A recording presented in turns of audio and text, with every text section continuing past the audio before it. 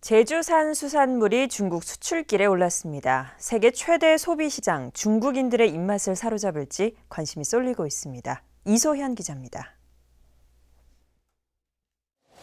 제주 바다에서 잡아 냉동시킨 참조기를 비닐에 담습니다.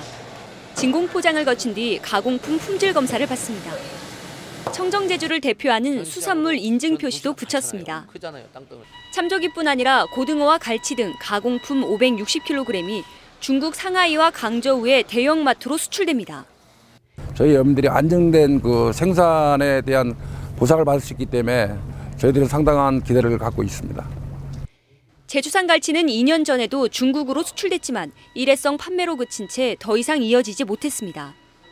한중 FTA가 발효됨에 따라 제주 수산물의 주요 수출 시장을 일본에서 중국으로 바꾸기 위해 본격적인 시장 개척에 나선 겁니다.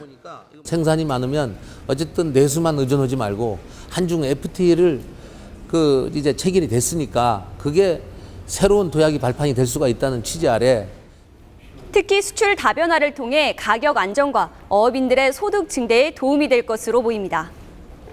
전 세계 수산물 생산량의 40%를 소비하는 중국인들.